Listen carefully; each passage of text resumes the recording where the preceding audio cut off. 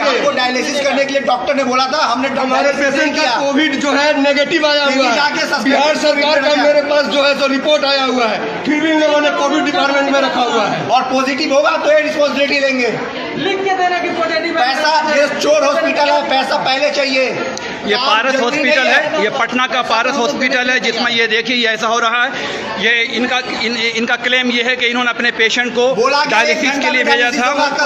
लिया। आज तक कोई किया अभी तक? फिर वेंटिलेटर में डाल के छोड़ दिया आईसीयू में। अठारह घंटे हो गए आईसीयू में और उनका डायलिसिस नहीं किया गया। जब इन्होंने चिल्लाया तब जाकर के डायलिसिस की वहाँ मशीन आई है। ये पारस ये ये इनके पेशेंट हैं इनके हस्बैंड हैं इनके हस्बैंड हैं। रात इनकी डेथ हो गई और अब तक अब तक ये यानी बारह घंटे से ज़्यादा हो गए और अब तक इनको नहीं दिया। बोला गया है कि आपका पेशेंट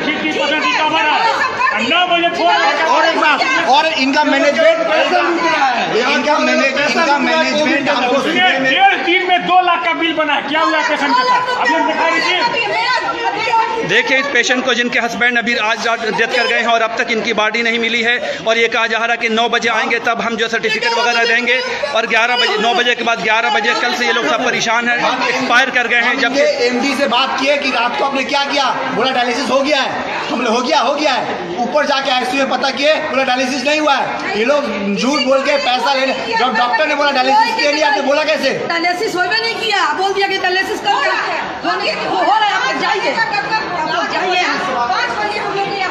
मेरा पेशेंट को बोला कि बीपी नॉर्मल हो गया है डायलिसिस से उतर गया है एक घंटे बाद बोला कि बीपी एकदम डाउन हो गया। ये कैसे हो गया वहाँ जाके देखिए आईसीयू में एक भी डॉक्टर नहीं है सब नर्स और कंपाउंडर है और ये बात सही है कि पारस जैसे हॉस्पिटल बिहार, पटना की हालत है कि कि आईसीयू में डॉक्टर अवेलेबल नहीं थे। और उस वक्त यानी ये हो रहा, देखिए, जब यहाँ पे लड़ रहे हैं मैनेजमेंट से, ये लोग किस तरीके से हंगामा कर रहे हैं और ये वीडियो बनाने से भी मना कर रहे थे।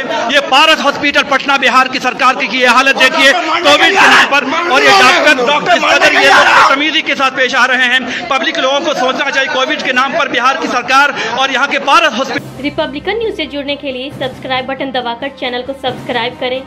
नोटिफिकेशन प्राप्त करने के लिए यहाँ बेल को दबाएँ। वीडियो अच्छा लगे तो लाइक करें और दोस्तों के साथ शेयर करना ना भूलें।